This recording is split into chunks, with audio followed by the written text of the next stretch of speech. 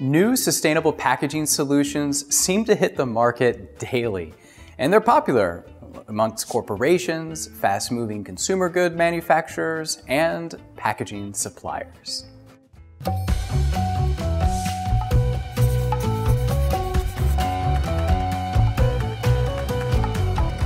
These entities are proactively making bold commitments to improve the sustainability of their packaging while fundamentally rethinking their packaging systems.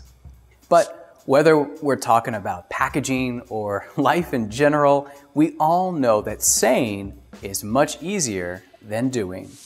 So, with that, by the end of this short lesson, you're going to be able to discuss the collaboration between various stakeholders when working towards sustainable packaging solutions and assess the trade offs that exist in the sustainable packaging sector. So, to keep this brief, I'm going to focus on the people, processes, and technologies that come into play when considering implementing sustainable packaging solutions into your current packaging system. Creating sustainable packaging that aims to increase environmental efficiency without compromising functionality like preservation, protection, communication, is by no means a solo endeavor. It is a collective process that involves multiple stakeholders. Clear communication needs to exist between product development, quality, your client, suppliers, manufacturers, distributors, retailers, and ultimately your end users. Ensuring that you have identified a person and bounced off your idea off each of these stakeholders enables you to have a comprehensive understanding of the solution. Keep in mind that most people are reluctant to embrace change. So instead of stating and defending your idea, ask as many questions as possible to fully uncover liabilities, issues, and reluctance. Try to embrace resistance to fully tease out where issues exist. Once you have a better understanding of the speed bumps ahead, you can begin to optimize your solution for deployment. By leveraging collective expertise, creativity, and insights amongst your stakeholders, solutions can be crafted that are not only environmentally friendly, but also commercially viable and technically feasible. At a high level, it's important to think about material usage. Think reduce, reuse, recycle but also energy and waste, all while aiming to maximize performance, functionality, and appeal to the updated packaging system.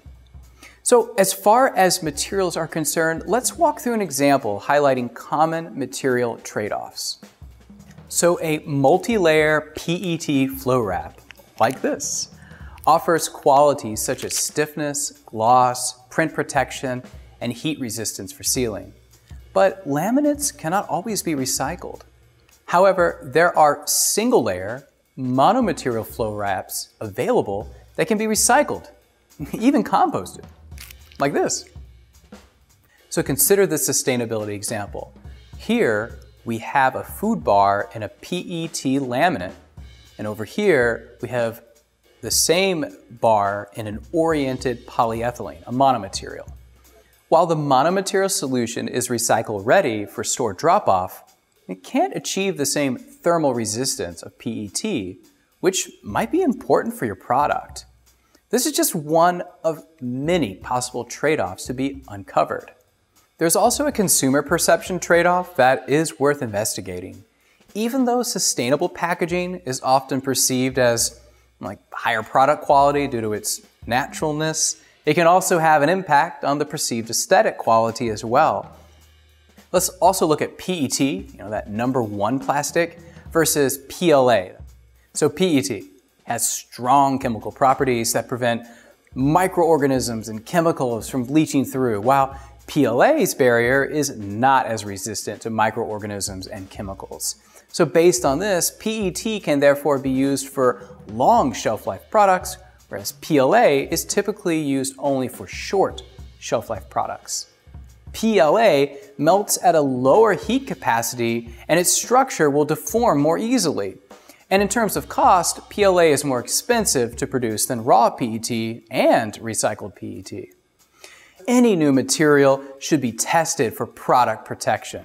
So the International Safe Transit Association has developed a sustainable packaging process guideline which provides rationale for sustainable packaging, recommended sustainable packaging metrics, and a standardized process guidance for organizing documentation and developing sustainable packaging.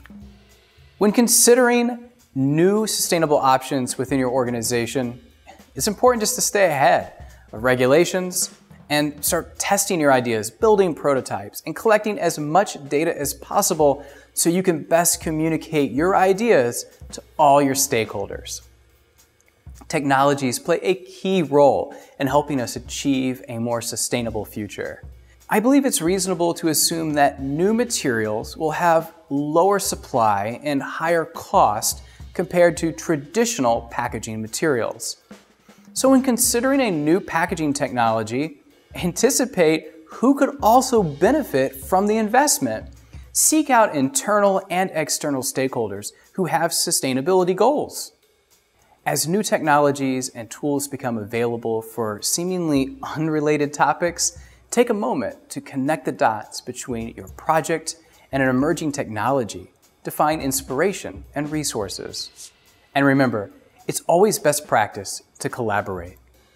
It's also important to take into account the full view of the packaging supply chain to be able to quantify your footprint.